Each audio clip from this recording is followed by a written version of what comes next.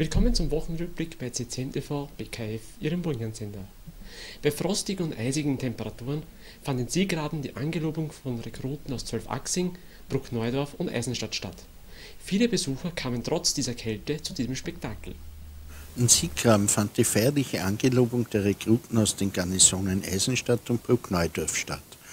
Besonders zu erwähnen ist, dass es die letzte Angelobung in Anwesenheit von Landeshauptmann Hans Nissel in seiner Funktion als Landeshauptmann war. 170 Soldaten der Heerestruppenschule Bruckneudorf und der 1. Jägerkompanie aus Eisenstadt waren angetreten, um den Treueeid auf die Republik Österreich abzulegen. Landeshauptmann Hans Nissel hob in seiner Festrede den hohen Stellenwert des Bundesheeres hervor. Der große österreichische Zapfenstreich der Militärmusik Burgenland musste leider aufgrund der tiefen Temperatur entfallen. Ich gelobe, ich gelobe, mein Vaterland, mein Vaterland, die Republik Österreich, die Republik Österreich, unseren Volk zu schützen, unser Volk zu schützen und mit der Waffe zu verteidigen. und mit der Waffe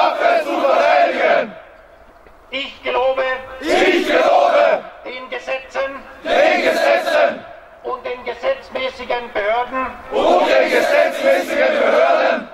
Treue und Gehorsam zu leisten, Treue und Gehorsam zu leisten, alle Befehle meiner Vorgesetzten.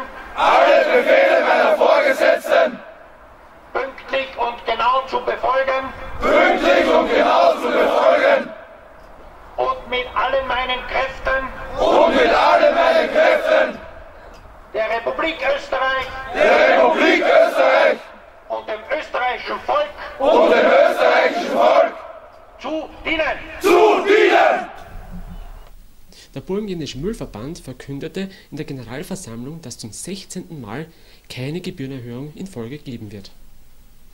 Am 1. Dezember 2018 fand im Kulturzentrum Oberschützen die Vollversammlung des Burgenländischen Müllverbandes statt. BMV-Obmann Markus Selinger und sein Stellvertreter Josef Korpitsch konnten dabei den zahlreichen Delegierten einen umfangreichen Tätigkeitsbericht und positive betriebswirtschaftliche Kennzahlen präsentieren. Trotz zusätzlicher Serviceleistungen für die Gemeinden ist es zum 16. Mal in Folge nicht notwendig, die Müllgebühren zu erhöhen. In der Martinskaserne fand der zweite Sicherheitsgipfel statt. Der zweite burgenländische Sicherheitsgipfel 2018 tagte mit Landeshauptmann Hans Nissel und Landeshauptmann Stellvertreter Johann Schürz an der Spitze in der Martinkaserne in Eisenstadt. Neben dem digitalen Katastrophenschutzplan und dem Assistenzeinsatz des Bundesheeres stand die heuer im April unterzeichnete Sicherheitsleitlinie für die Zusammenarbeit zwischen dem Bundesministerium für Inneres und dem Land Burgenland auf der Tagesordnung. Große Teile der Sicherheitsleitlinie seien bereits umgesetzt worden.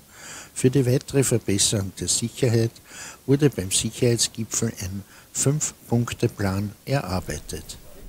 Das Land Burgenland und die Landwirtschaftskammer einigten sich über die künftige Kooperation und der Finanzierung der Landwirtschaftskammer.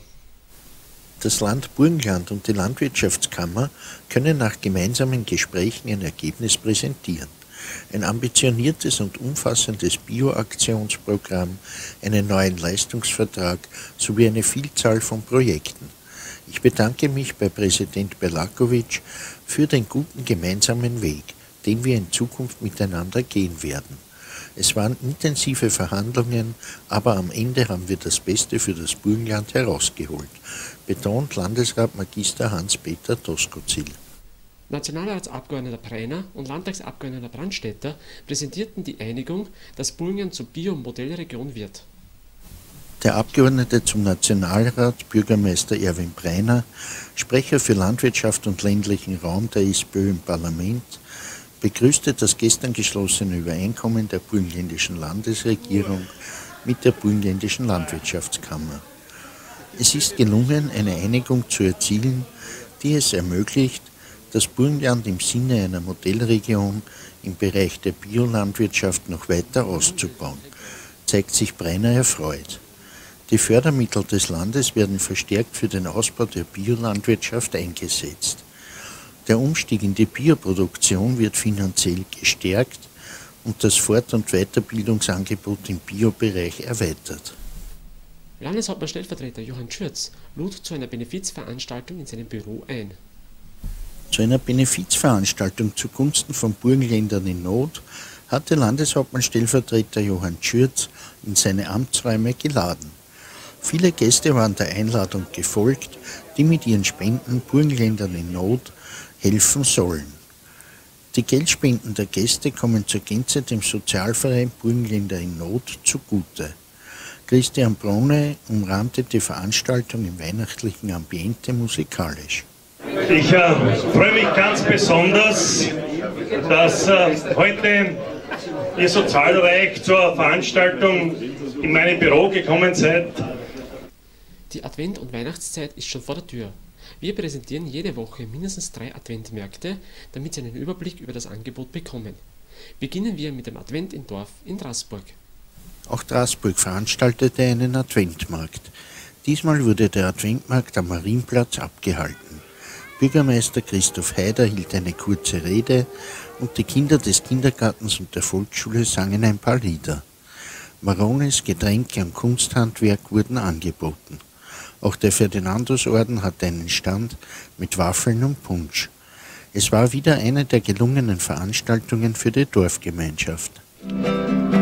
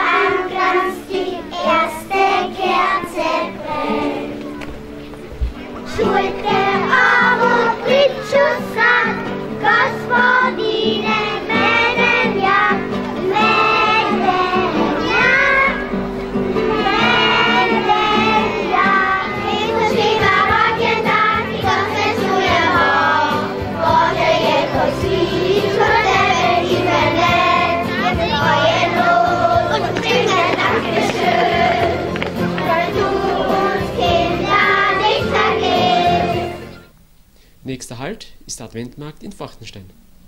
Die Zeit der Bundstände ist angebrochen. Auch die FPÖ beteiligt sich im ganzen Burgenland daran. Diesmal waren wir beim gut besuchten Bundstand in Forchtenstein. Neben vielen Besuchern aus der Ortschaft haben wir auch Landesrat Magister Alexander Petschnik unter den Gästen gesehen.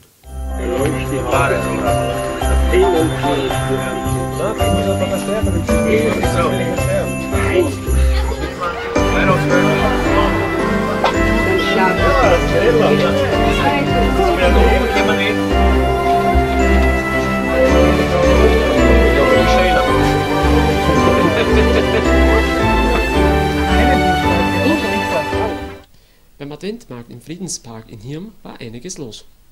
Die SPÖ Hirm veranstaltet alle zwei Jahre einen Adventzauber. Heuer war es wieder soweit. Im Friedenspark waren wieder Hütten mit Kunsthandwerk, originellen Weihnachtsgeschenken, Weihnachtsbäckerei, Glühwein und Punsch aufgestellt. Viele Besucher kamen, um die angebotenen Waren zu bestaunen und sich bei Punsch und Glühwein zu unterhalten.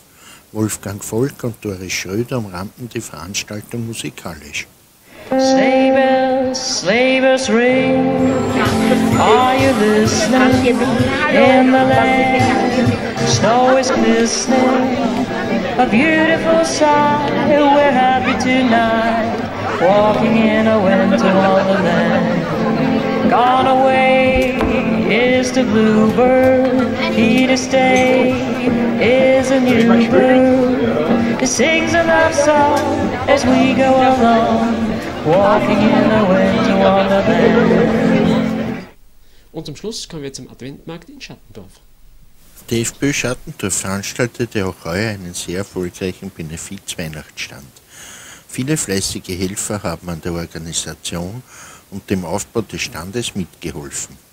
Da auch sehr viele Besucher kamen, war es ein großer Erfolg. Der Reinerlös wurde an eine Schattendorfer Familie übergeben.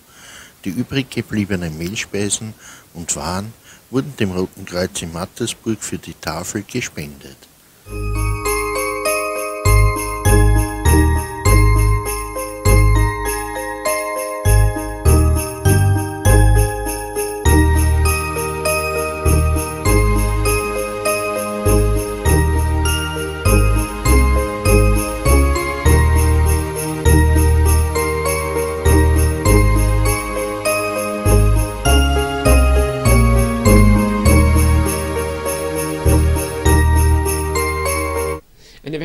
Folge der Islamgefahr der Chance mit dem Thema die Kafala ist erreichbar.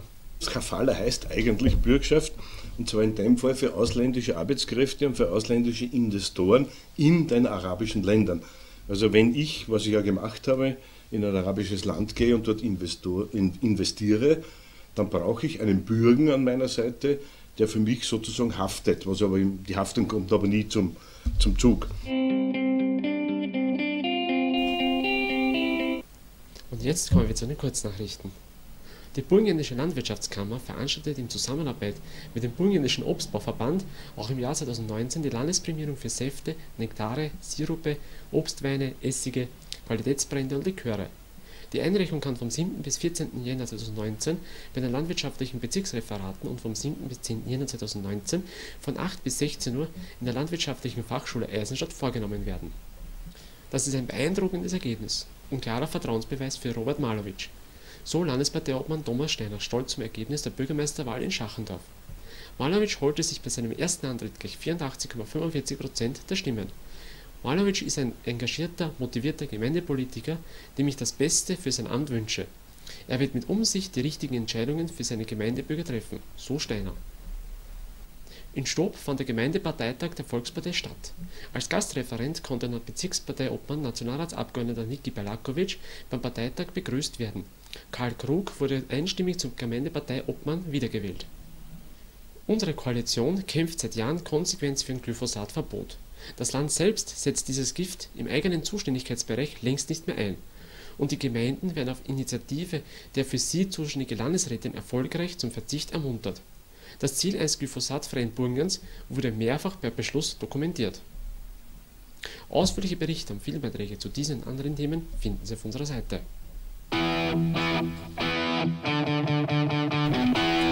Und zum Schluss kommen wir zu unseren Veranstaltungshinweisen. Der Adventmarkt im Schloss Lackenbach findet am 8. und 9. Dezember ab 13 Uhr im Schloss statt. Der Adventzauber Jennersdorf 2018 findet am 7. und 8. Dezember ab 14 Uhr am Mutter-Theresia-Platz in Jennersdorf statt. Weitere Veranstaltungen finden Sie auf unserer Seite. Das war es wieder für diese Woche. Vielen Dank für Ihr Interesse und eine schöne Woche wünsche Ihnen CCMTV Team Burgenland.